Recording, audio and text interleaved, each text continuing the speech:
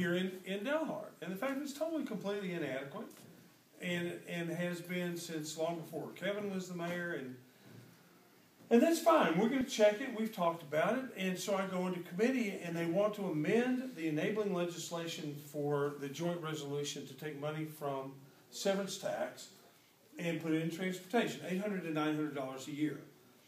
It's not as big a deal as it seems. It's a dedicated stream which has some importance, but it's really only 10 to 15% of total TxDOT funding. It's not magic. And I said, no, wait a minute. I said, I just talked to Mayor of Dalhart, and we've talked about this underpass, 13 feet 7 inches, which does not meet modern standards of, of, of freight carriage. And I said they've been waiting, they've been told all these things by TxDOT, and there's still nothing done. And I said, now, we, we realize where we are compared to I 35 and a mile roadway on I 35 compared with a state highway. We get that.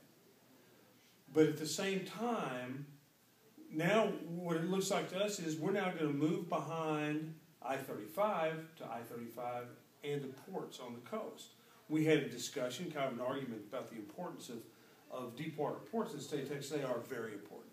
They're essential to trade and they're essential to agricultural and industrial trade, and I understand that, but they also produce a lot of income of their own and they have other funding sources. We've got TxDOT for highways. And uh, and the chairman spoke up, and, and as you can imagine, when the chairman finance speaks up, it, it, it says a lot. And, we have this little argument about the ports, and okay, okay, okay. And uh, I said my problem is not ports, it's my problem is priorities. And you can only move state highways and farm market roads so down on list priorities, which means they become no priority at all. And the chairman said, we're going to get something done on that. He's been up through here. That's when all the phone calls started. And, and it's just, it doesn't always work that well, that smoothly, or that quickly, but it's a case where somebody in the local jurisdiction calls up and we can get something done because, quite frankly, that's why we're there. And, and I think it's going to go very well. the district engineer and I are going to talk about Highway 54 here right away. Um, because, you know, TxDOT's policy really is to tell folks that they're going to get something done and that's supposed to suffice for some certain period of time. And that really, what good is that? Um, so we're going to address that, and and I think they mean well. They do good road work when they get around to doing it, but this is a big state, and all parts of the state must be served because all parts of the state are paying into the coffers. When we talk about the coffers, most important thing we do every two years is a budget. It's about 100, I think, 192 billion dollars, some enormous sum of money about 192 billion dollars, and and that figure goes up. It seems almost impossible to have the Constitution of the United States or the state of Texas amended to where it says um, spending growth cannot exceed population growth and inflation. Those are drivers of budgets, and, and they do go up, and that's fine. Here's the most important thing while it's not in the amendment of, while it's not in the Constitution of the state of Texas, our fiscal growth over the last 10 years and in this year are staying under inflation and population growth. And, and that's important. We're lucky in that the, popula- that the economy of the state of Texas is growing and provides more funding to account for about 400 some odd thousand additional people a year, uh, 65 to 78,000 more kids in school and uh, everything is more expensive than last year. But I think we're staying within those parameters for economic growth and, or spending growth. We're about a half a billion dollars below the constitutional spending limit. So it's a pretty restrained budget.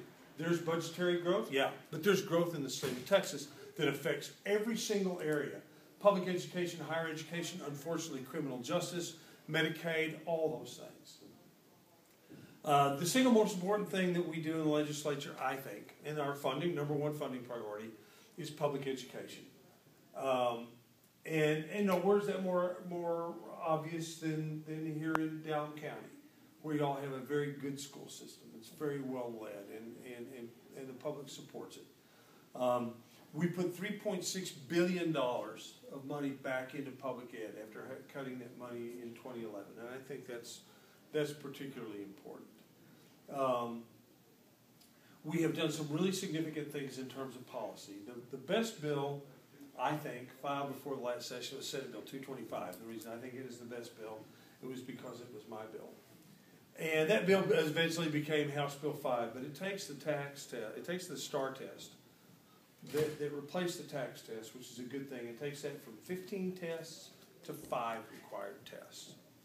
Fifteen tests came about in another piece of legislation of mine because educators said if we're going to do, if our STAAR test is going to essentially do essentially for our accountability system what a semester test was, you're normally going to see 14 tests. I don't know where the 15th came from. So that's why it was 15 tests. What we found out was for the accountability system, in courses where kids are being tested anyway, it's just too many tests. It's more than is necessary.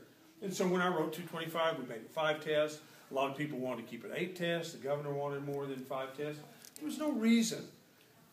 Let's find out what is really important to measure, to see to it that our, our school districts are doing the jobs, our campuses are doing the jobs, and characterize our students, but don't do a lot more testing. Kids are going to have to take tests anyway.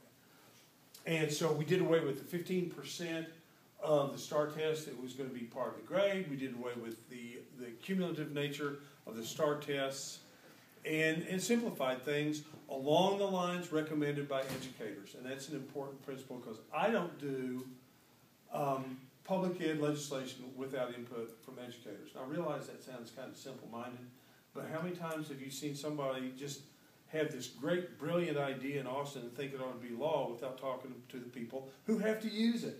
Happens all the time. A lot of time along philosophical lines or ideological lines or something like that. But, but in this 31st district, there are 82 school districts and some people who are not only very, very dedicated, but really, really good at what they do into teaching kids in situations where it never gets any easier.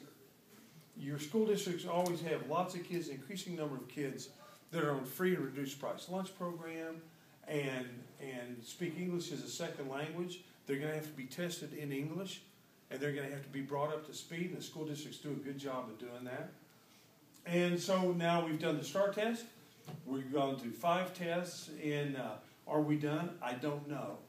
But every time we have this discussion, and I go to lots of meetings of a lot of groups um, with, administrators and teachers and things like that, we're starting now on legislation in the 2015 session. What do we need to do next? What's, what's our next real challenge?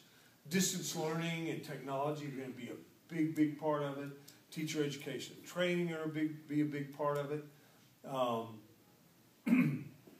the list goes on and on.